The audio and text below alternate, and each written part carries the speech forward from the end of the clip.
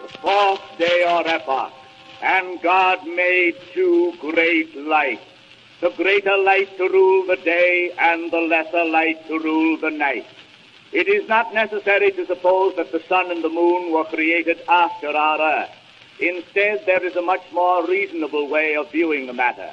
The sun, the moon, and the stars were created long before, but had never up to this time cast their light upon the earth because of the impenetrable veil which canopied it.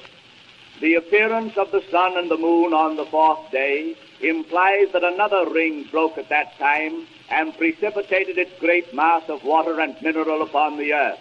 Great gullies were washed between the mountains.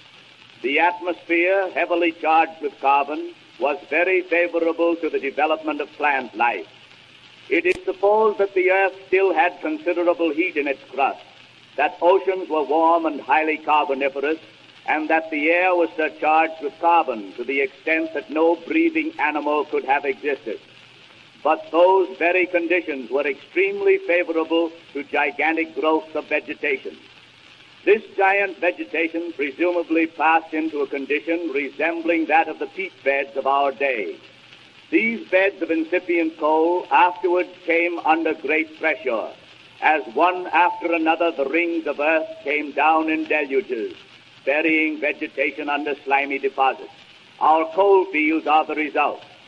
We are not to assume that the sun and the moon shone on the earth then as now but they were discernible even through heavy banks of fog and carbon-laden atmosphere. The influences of the sun and the moon were necessary to prepare for higher forms of plant and animal life. We may as properly lay stress on the word rule as on the word made in this text. God caused the sun to rule the day and the moon to rule the night. Besides symbolically, it is claimed that the moon represents the law covenant rule and the sun the new covenant rule.